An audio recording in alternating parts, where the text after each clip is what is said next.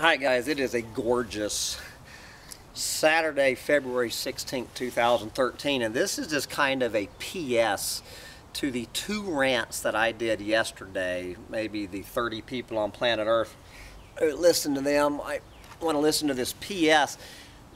My first rant yesterday, I read from uh, the e-newsletter I receive from the Center for Biological Diversity called, I believe, Our Endangered Earth. And then in my second rant, I did a, a rant on a mainstream media article. I can't remember where it's from uh, about this horse shit this absolutely horseshit notion that is getting back into the mainstream media that overpopulation is a myth that overpopulation is a myth and uh, the and that some sort of threat to this uh, country and this planet is in fact underpopulation. Uh, you know, obviously anyone with a brain understands how absolutely absurd that notion is. I mean, and it's almost funny, except the tragic thing is, is the number of people without brains uh, in this country and on this planet. Their brains are inside their heads, stuck so firmly up their ass that they will never be able to see the light of day.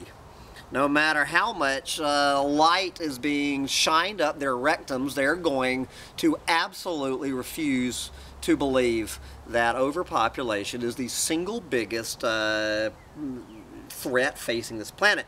So anyway, I finished those two rants, and so what I'd uh, go back up to my trailer, flip on my email, and what came in while I was sitting on this rock was the other was the other newsletter that I receive from the Center for Biological Diversity, which you too can get. Uh, and, I, and I'll put the link on how to do that if I can figure out how to put the link on. Anyway, the other newsletter that Center for Biological Diversity uh, talks uh, is called Pop X. Pop X, a newsletter on human population growth and the extinction crisis. And uh, they particularly look for stories how the sixth mass extinction, which they talk about in their other newsletter is a direct result is a direct result of overpopulation.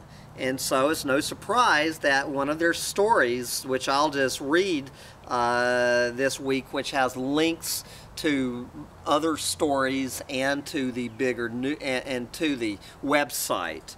Uh, it is called A Baby Bust or not so much. And I'm just going to read this, guys, and, and then you can uh, click on my link and find all these other links. Talking about what I was talking about yesterday is, the, is these idiots making their way into the mainstream media uh, talking about the population bust on this planet. So here's a little antidote to that horse shit. Okay. Have you heard or seen gloomy media reports on falling birth rates or complaints about how the U.S. fertility rates are below the replacement level of 2.1 births per American woman? Even national public radio stations are getting into the act. Oh God, now NPR, uh, it, it, I guess, I don't even want to know what that's about. Okay, so how should a population activist respond to this hand-wringing over an alleged national baby bust? Okay, you can start by reading uh, the piece in today's, in, in the Chicago Daily Herald. There's a link to that. And then use these simple talking points to help educate your fellow Americans. I am here getting ready to use these talking points to help educate my fellow Americans that overpopulation is the number one driver of the sixth mass extinction on this planet, among other things. Number one, the world adds 200,000 more people every day to this planet, including 5,000 people every day in the United States uh, with our great falling birth rate. Yeah, right. Number two, the fertility rate in the United States has been below replacement levels since the 1970s and population growth has continued nonetheless. It has, it has doubled. Do you understand this? That this replacement level population rate is one is grossly misunderstood. That uh, how can a population below replacement level double in 40 or 50 years? And guys, this goes directly into the next point, uh, which I mentioned yesterday, that the United States, with its quote, below replacement population levels, it's now around 300 million, it is expected to grow to 450 million in the next 40 years by 2050. Uh, depending on which curve you choose, that our population will be between 420 million people and 450 million people in less than 40 years. Okay? This is going to be half again. We're going to add over 100 million people. This is 100 more cities the size of Austin, Texas will be added to this. Uh, and, and, and, right here in the fastest growing city in the U.S., Austin, Texas, I guess we're going to put another 700,000 people here in Austin will be part of that 100 million plus people being added to this country. And the planet is on track for 10 billion people by the end of the century. It'll, it'll of course, uh, you know, a lot of people, including Ham Bun Little Tail, are saying the population by the end of this century will not be 10 billion people. It will be 1 billion people or less. The or less, one option is zero, that when Mother Nature finishes with the broom that she is getting out, we will be damn lucky to have a population of one on this planet, much less 1 billion or 10 billion on this planet uh, when the 22nd century uh, dawns. Okay, and what is the result of all this? this planet is in the midst of its sixth mass extinction.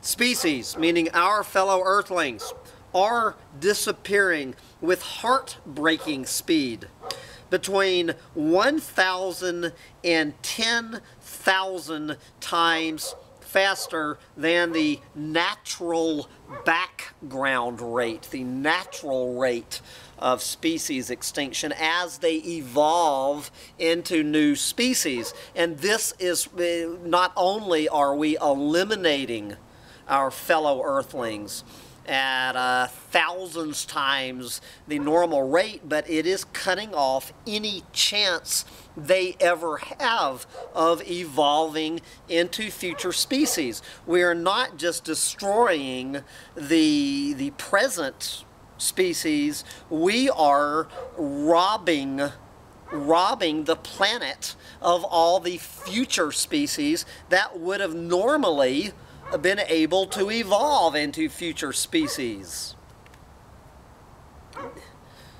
Do you get it, guys?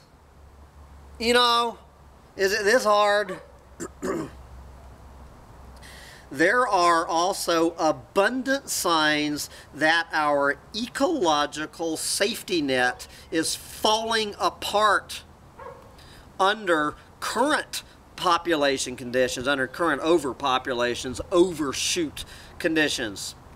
Okay, check back in with our 7 billion and counting website. So this is a link to the larger website, the uh, Center for Biological Diversity's uh, sister website called 7 billion and counting. And there's a link to it here to arm yourself with information arm yourself with information on how population growth affects oceans, climate change, and species extinction. You know, as you as you encounter more and more of this bullshit baby bust stuff, like I, uh, you know, this idiot Jonathan Last making his crawl around the uh, media uh, circuit now. Uh, you will be able to arm yourself with the facts going up against this level of stupidity, ignorance, and idiocy. Growth boosterism. I love that. Growth boosterism abounds in today's media landscape. But the time for that boosterism, I would call it shucksterism, snake oil selling, has long passed. Let us start a conversation that actually makes sense. And that is what I am futilely trying to do here on the rock is trying to start a conversation that actually makes sense. Although I, am completely hopeless, I, you know, like Don Quixote tilting at his windmills, this damn uh, dumb hippie fool will be getting back up uh, on his fool's rock trying to start a conversation on this planet that makes sense. So let me wrap this up and I will continue tomorrow with this same conversation on Sunday morning from this rock. But right now, I've got a barn to paint. So off I go into this gorgeous Saturday afternoon to paint a barn in the salvage economy. Bye, guys.